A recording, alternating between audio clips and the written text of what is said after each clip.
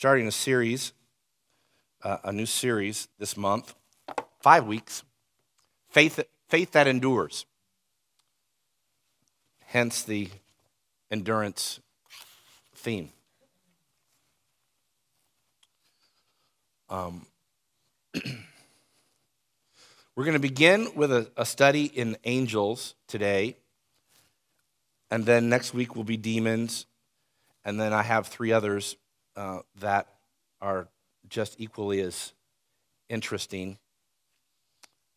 Each of these topics are theological in their um, at their core, and so we're going to approach this from a from a teachy preachy uh, perspective for you today.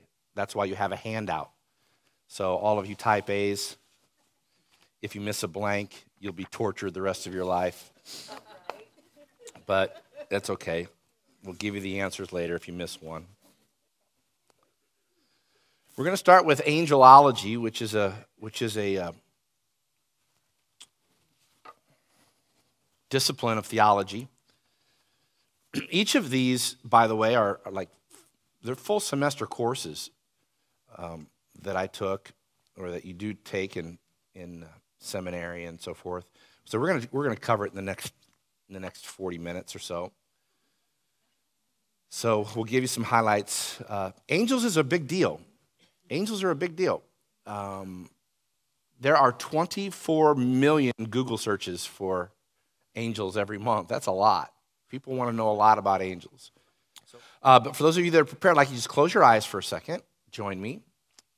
And I'd like you just to imagine what an angel looks like. All right? In your mind's eye, see an angel. Okay. Did you see a woman in white with a halo? Something like that? Where did you see those chubby little kids? You know, these guys. A children's choir, an angel playing a harp. I don't know. What do they look like? What do they do? Where do they come from? What's their role? Well, uh, we're going to start right here in your handout. You're going to see, uh, first of all, the, of course, the word angel is in both the Old and New Testament. In Hebrew, it's pronounced malak, and in uh, Greek, it's, it's pronounced angelos, where we get the word, the, the Greek name angelo, and the Italian word, I mean, just the name Angelo or Angela for you ladies means angel.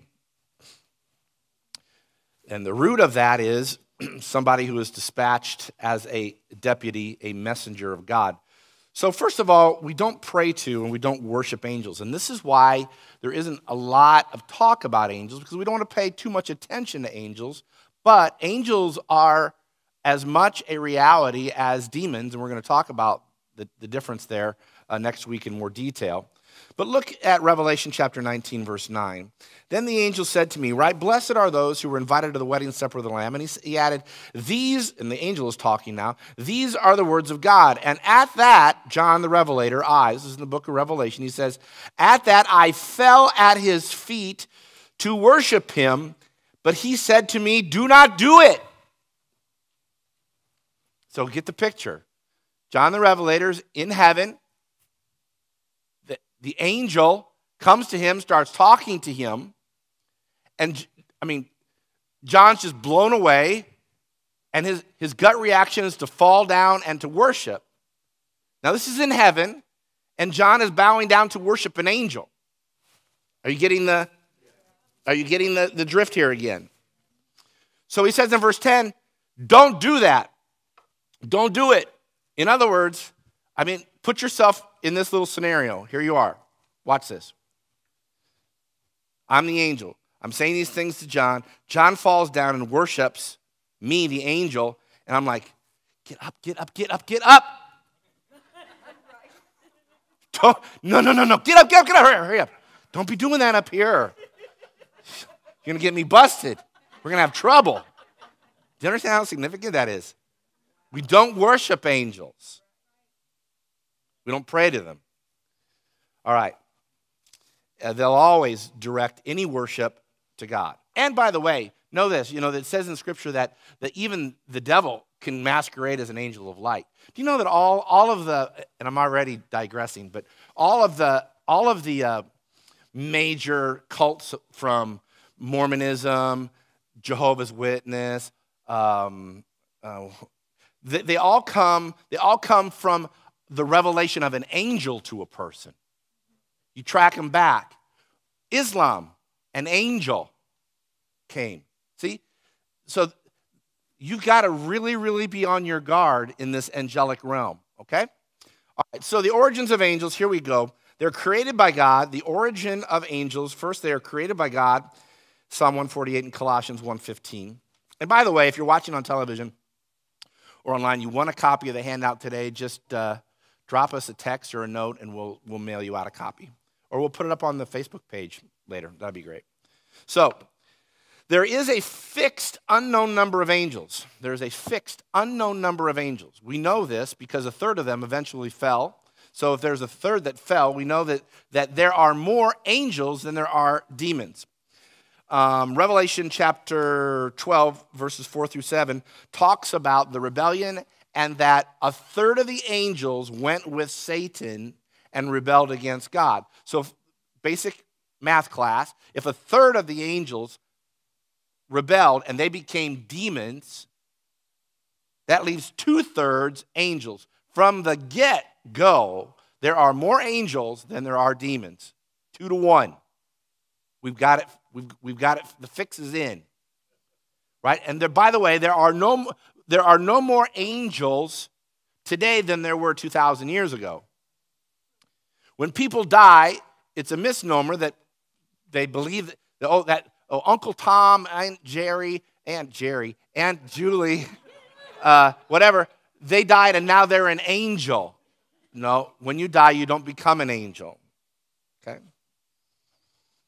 So there's two distinct classifications of angels in Scripture. Those are those who followed Satan uh, and they're demons, and those angels who followed God and they are the holy angels. So, in angelology, there's a subdivision called demonology, and we're going to talk about demons next week. All things demons next week.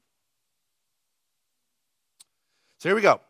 angels were created to do one thing, and that was to worship God. In Revelation 7 11, the angels were standing around the throne and around the elders and the four living creatures. They fell down on their faces before the throne and worshiped God.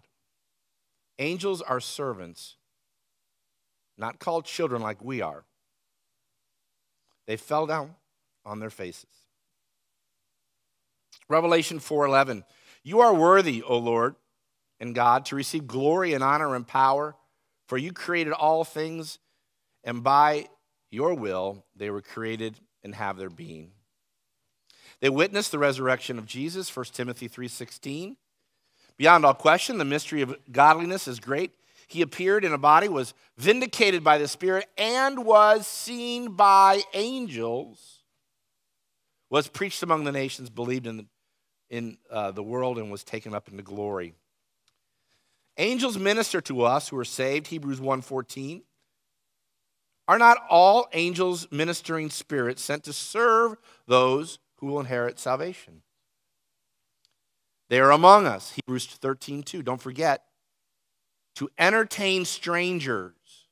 Don't forget to entertain strangers. For by so doing, some people, some of you, you don't even know it, but you actually entertained angels without knowing it. Wow. Wow. Think of that. And then I list a whole bunch of other um, places where uh, angels had appeared to minister. Number five, they protect and they, they, they protect the redeemed. Psalm 91. If you make the Most High your dwelling, even the Lord who is my refuge, verse 10, then no harm will befall you, no disaster will come near you, near your tent. For he will command his angels concerning you to guard you in all your ways. So, do you have a guardian angel? Some would argue yes, some would argue no. We don't have a definitive answer. If you have you know, you're assigned angel number 3259724. We don't know that or not. But you have, we have angels watching over us. Make it, I mean, uh, uh, Cheryl and I pray together in the morning and the evening, and fairly regular in our evening devotion we do in the Lord. Just surround our, surround our home, surround our lives. Let your angels be there uh, ministering to us. You know, those are legitimate prayers. They comfort us. Acts 27 24. And the angel said, Do not be afraid, Paul. You must stand trial before Caesar and God, who has graciously given you the lives of all who sail with you. They deliver. Acts 5:19, but during the night an angel of the Lord opened the doors of the jail and brought them out. What I think is really interesting that God is all powerful, right? Then he, he just he sends his angels. Hey, go take care of that. Go, I mean, he could do it himself, but he sends his angels. Go take care of that. Go get go bust them out of jail. Go take care of them here. Go take care of that. And do you know that there are angels at the bedside of those who die? At the moment of death, number eight, Luke 16 22, the time came when the beggar died, and the angels carried him to Abraham's side. The rich man also died and was buried. I honestly believe that at the deathbed of every believer, there is an angel.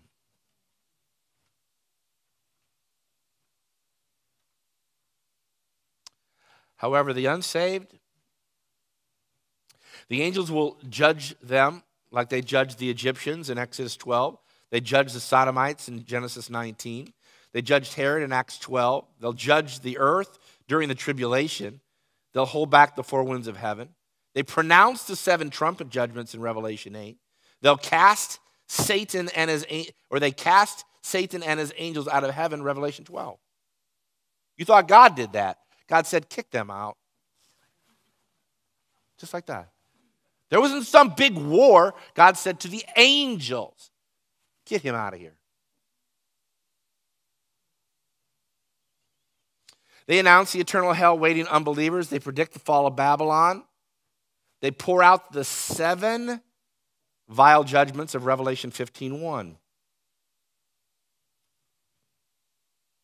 And they bind Satan in the bottomless pit, Revelation 20, verse 1. In Revelation 20, Satan is bound. Boy, that must have been tough. No, God said to the angels, Go bind him up.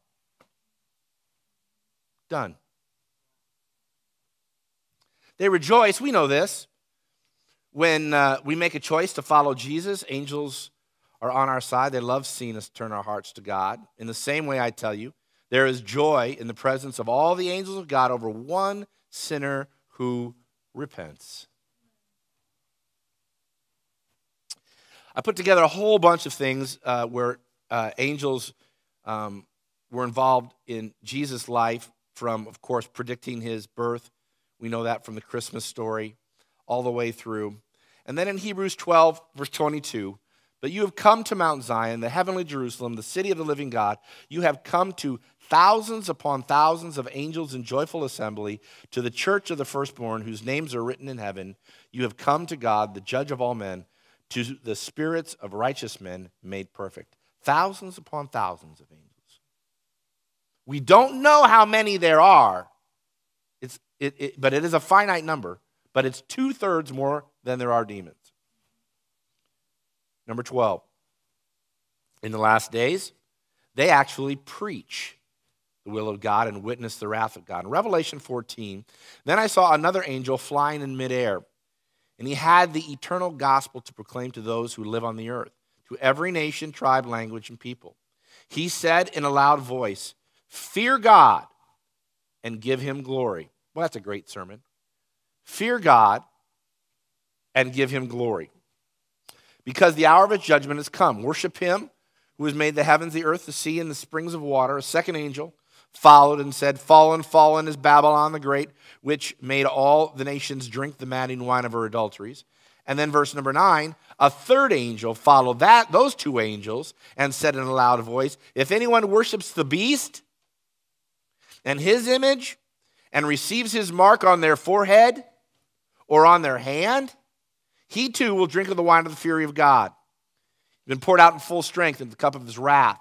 He'll be tormented with burning sulfur in the presence of holy angels and of the Lamb. And the smoke of their torment rises forever and ever. There is no rest day or night for those who worship the beast and his image, for anyone who receives the mark of his name. You know that we do not marry, we do not have children in heaven. The Bible says that angels are like that. In heaven, men and women will be like angels. We do not marry or reproduce. At the resurrection, people will neither marry nor be given in marriage. They'll be like the angels in heaven. Matthew 22, verse 30. Now, here's something interesting their appearance. When you see an angel on terra firma, on the ground, in the scripture, generally they have bright white clothing. They appear to people as people, like at the resurrection, when the, when the uh, ladies went to the tomb and there was an angel sitting on the rock. But in the spirit realm, when you see an angel, they have wings. Some have two wings, some have six wings with lots of eyeballs all over them. So, there's a couple differences. Let's go through this list. We have the angel of the Lord. This is a phrase that you'll see uh, in the Old Testament.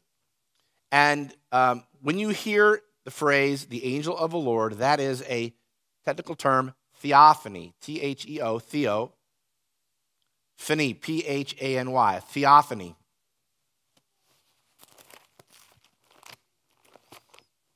It's worth turning to.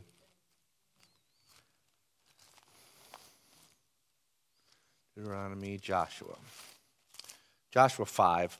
it's one of my one of my favorite. So, the fall of Jericho.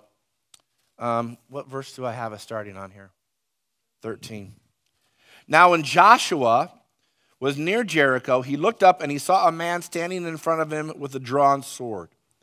In his hand, Joshua went up to him and asked, Hey, are you for us? Are you for? Good question. That's a great question. And the angel says, the angel of the Lord says, Neither, he replied, but as commander of the army of the Lord, as commander of the army of the Lord, the army of the Lord is all of heaven, all the angels. You know the term, the host, heavenly host? You heard that phrase? Heavenly host. Heavenly, the word host means all of heaven's angels. That's what that means. Then Joshua, watch this. So, I back up. Neither he replied, Do you have the scripture or not? No? That's all right. I didn't, I didn't give it to you. Neither he replied, uh, The commander of the army of the Lord, but I have come now. So Joshua is talking to, to uh, the commander of heavenly host. So this is a theophany. This is, the, this is Jesus pre incarnate in the Old Testament presenting himself to Joshua with a, with a sword. Pretty cool. And how, how do we know that for sure? Watch this. Then Joshua fell face down to the ground in reverence and asked him, What does my Lord have for his servant? So stop. Joshua falls down his face to worship. We know what happens if you do that in front of an angel. What is the angel supposed to do? Get up, get up. Not this, not this, not here. And then he says, Joshua says, What does, what does my Lord have to say? So, when in the Old Testament you see the angel of the Lord, that's a theophany. Now, categories besides the angel of the Lord, you have archangels. First of all, you have Michael, he is the warrior. You'll see that in Jude 9, Daniel 10. And you have Gabriel who shows up all over the place when he's got something important to say. So that's why you often see or hear Gabriel blowing your trumpet. Gabriel, blow your trumpet.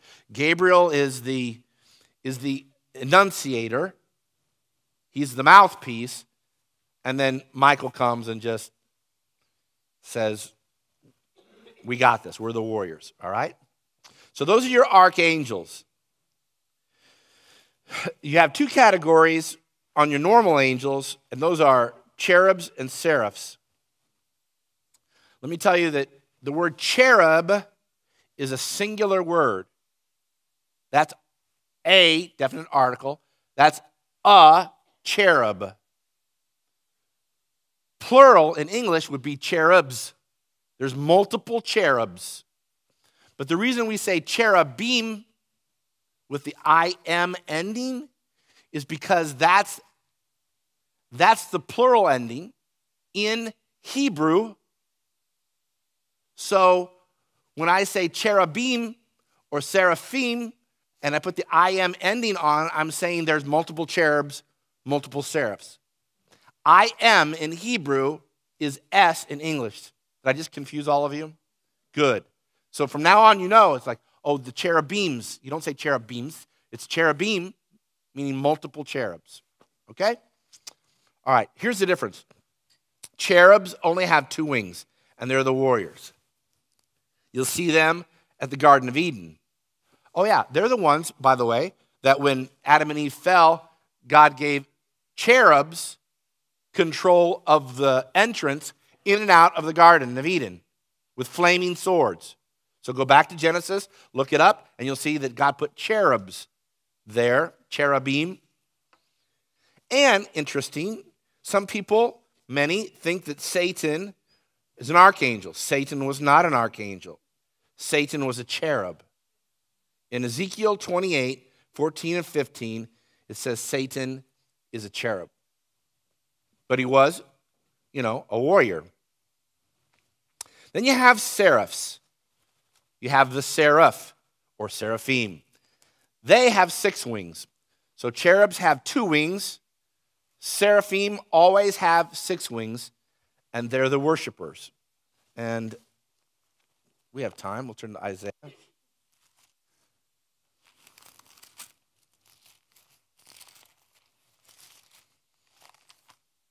You doing okay? Everybody doing all right? All right. Isaiah 6. You know this verse. In the year that King Uzziah died, I saw the Lord seated on a throne, high and exalted, and the train of his robe filled the temple. Above him were seraphs. Each had six wings. With two of those wings, they covered their face. With two, they covered their feet. And with two, they were flying, calling one to another, Holy, holy, holy is the Lord Almighty. The whole earth is full of his glory. Man, what a job description that would be, huh? So we've got the angel of the Lord, we've got archangels, Gabriel, Michael, we've got cherubs and seraphs, and then we've got, I love this category, these are the four living creatures. And the way that I remember them is they spell the word lome, L O M E lion, ox, man, eagle. You can write that down. But they're found in Revelation verse 7 and Ezekiel chapter 1, verse 10. In fact, I'll just go to Revelation.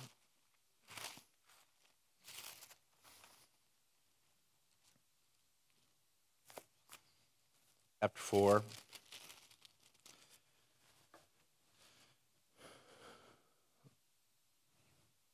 I got to back up. It's just too good.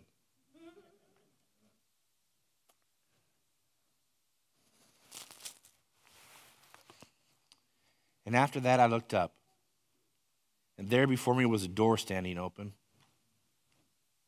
in heaven. And a voice I had first heard speaking to me sounded like a trumpet and said, Come up here, and I will show you what must soon take place. At once I was in the Spirit, and there before me was a throne in heaven, and someone sitting on it. And the one who sat there, had the appearance of jasper and carnelian. A rainbow resembling an emerald circled the throne. Surrounding the throne, there were 24 other thrones, and seated on them were 24 elders. They were dressed in white, had crowns of gold on their heads. From the throne came flashes of lightning rumblings and peals of thunder. If you have this idea that heaven is a quiet, sedate place, you need to put it in the category of the most uh, bodacious, Bose sound system ever known to mankind.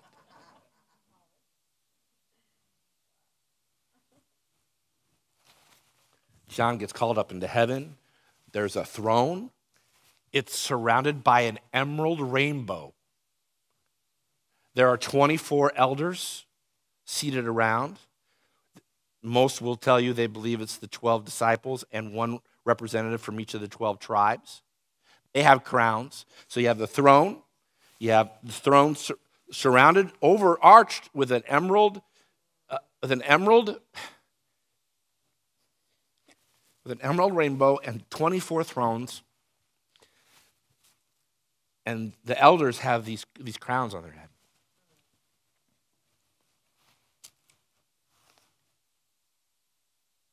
They were dressed in white, crowns of gold on their head. From the throne came flashes of lightning, rumblings, and peals of thunder. And before the throne, seven lamps were blazing. These are the seven spirits of God. Look up Isaiah 11 2 later if you want. Also, before the throne was that which looked like a sea of glass, clear as crystal. The throne the 24 elders, the rainbow, the thunder, the rumblings. And then from the, the, the throne sat on this, this ocean of glass like crystal. And the 24 elders were seated in their thrones on this sea of crystal. And in the center, around the throne, were four living creatures. And they were covered with eyes in front and back. So now we've got these four living creatures the lion, the ox, the man, the eagle, and they are entirely covered with eyes.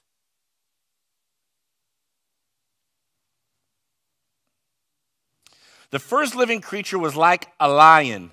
The second was like an ox. The third was the face of a man. And the fourth was a flying eagle. Each of the four living creatures had six wings. They were covered with eyes all around, even under their wings.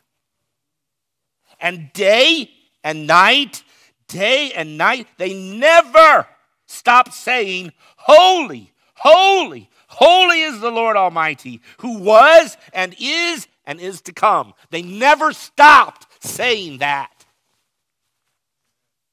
Ever. It's like heaven's elevator music. This constant hum in heaven. Holy, holy, holy. So John gets caught up in this. He goes, Whoa, what am I seeing? And whenever, whenever the living creatures said that, gave glory and honor and thanks to him on the throne, and all the lives and who lives forever and ever, what would happen is here it is. Verse 10 the 24 elders then would fall down before him who sits on the throne, and they worshiped him who lives forever and ever. And they throw their crowns down before him and say, You are worthy, O Lord God, to receive glory and honor and power. So it's like some sort of crazy heavenly rave. The four living creatures, two wings, they cover their eyes, two wings, they cover their feet. And with two wings they fly, covered in eyes, and they just start, they start it all. The, thum, the thunder is rumbling, and they just simply say, Holy, holy, holy is the Lord God Almighty. At that, the 24 living, the 24 elders get up, they take off their crowns, and they throw them at the foot of the throne. Can you just see that? Crowns are not for you, crowns are for him. Crown him with many crowns, the Lamb upon his throne. Any crown you get here, the 24 elders in the presence of God. Take the crown off. I can just, I don't know, I, in my imagination, I hear the sound of a, of, a, of a metal crown tumbling on a crystal sea and landing at the foot of the throne. And then all the elders fall on their face. And while the angels are saying, Holy, holy, holy, the 24 are saying, You are worthy, O Lord God, to receive all glory, all honor, all power. You created all things, and by your will they were created and have their being.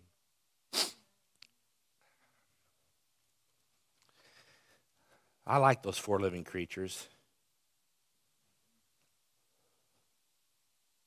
So we have a couple take homes for you today. Number one, just be informed. They're spirit beings who are God's messengers and warriors. They do his bidding. They're created by God and for God. And I think it's a good idea for you to be alert because you could actually entertain an angel on the way home from church today and not even know it. Be aware. Number three, be comforted. In that there is a heavenly host. That is, heaven's army is there at God's disposal for you.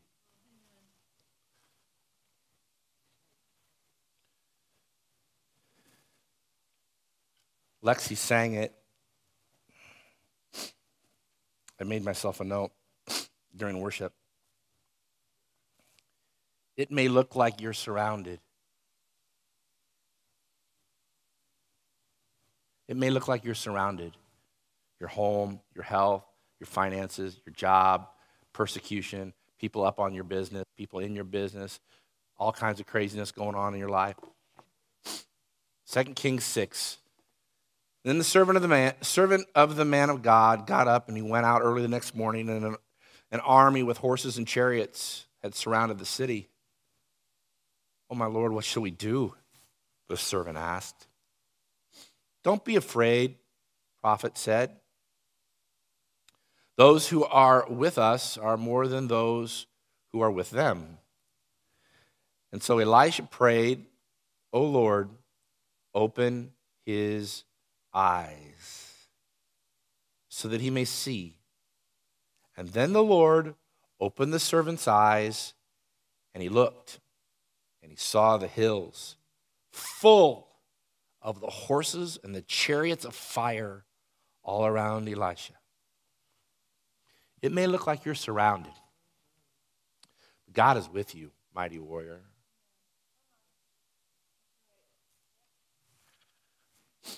I've had two quite memorable encounters with angels.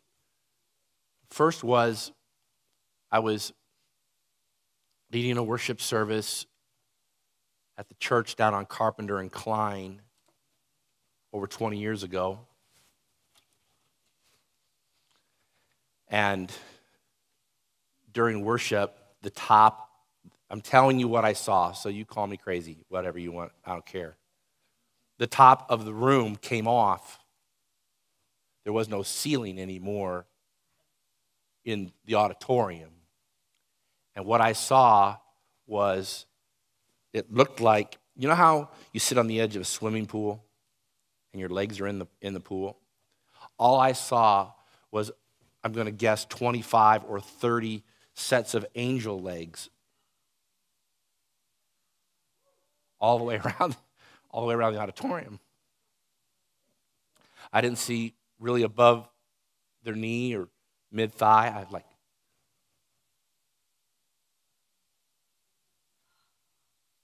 There's a heavenly host. And there's a great cloud of witnesses what we've lost in America and in the Western culture in general is this is a little bit of an editorial is the ability, not the ability, but the willingness to entertain the idea that there is more than what you can touch. That impacted me greatly. My daughter uh, is the, fo- the focal point of, of the second and the most stunning, more so than that time I would pray regularly for uh, Hannah. And often I would get up in the middle of the night and I would just stand outside of her door in our home and pray for her.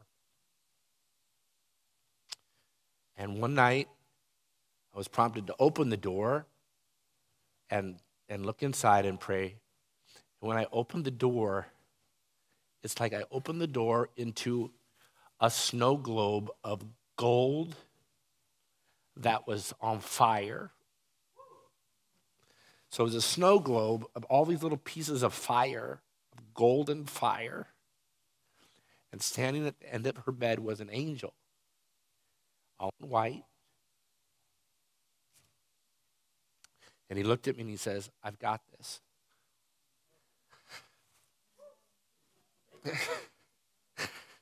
no. These are not the emotions of a person that's making this up to make you feel good. I've dedicated my life to Jesus. Dedicated my life to knowing Him and helping other people to know Him. And I don't always do it perfectly. But we have help. Holy Spirit is alive and well. He came at the resurrection for you and for me. And God has given us great authority. We are not alone. Any more than Daniel is in the, in the, in the lion's den, or Shadrach, Meshach, and Abednego were in the fiery furnace. You are not alone. And if you would entertain the idea that there is something more in this world than the things that you can touch, you are on the cusp of understanding how powerful the presence of the Lord can be in your life. Don't give up. You are not alone. There are more who are for you than are against you. Why don't you stand with me this morning?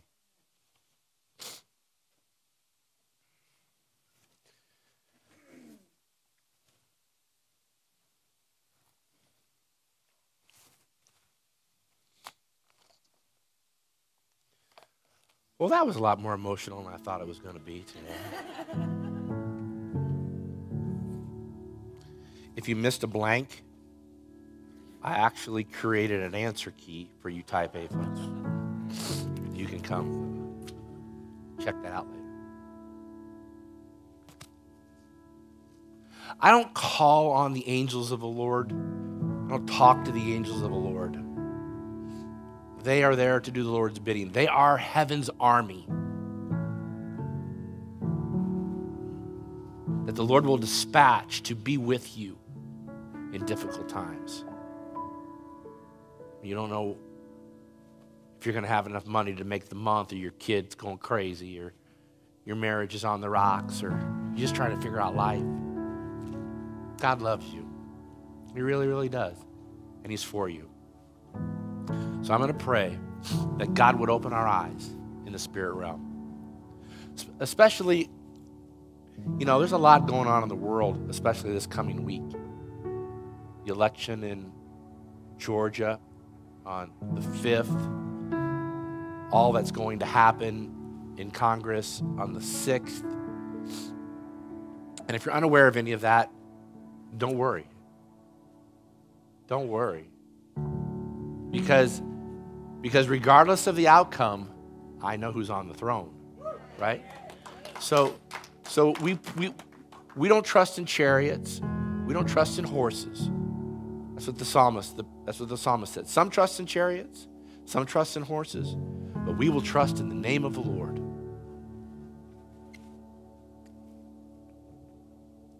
Do your part. Stand up. Be strong have a voice. Well, all my friends think that abortion is okay. It's not okay. Say it's not okay. And if they unfriend you because you stand for saving babies' lives, then they don't need to be your friend. Well, I might hurt somebody's feelings, or they're going to unfriend me, or I might lose my job, or who signs your paycheck?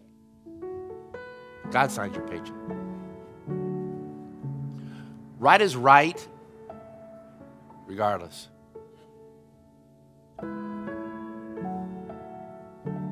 Wrong is never right. There is never the right way to do a wrong thing.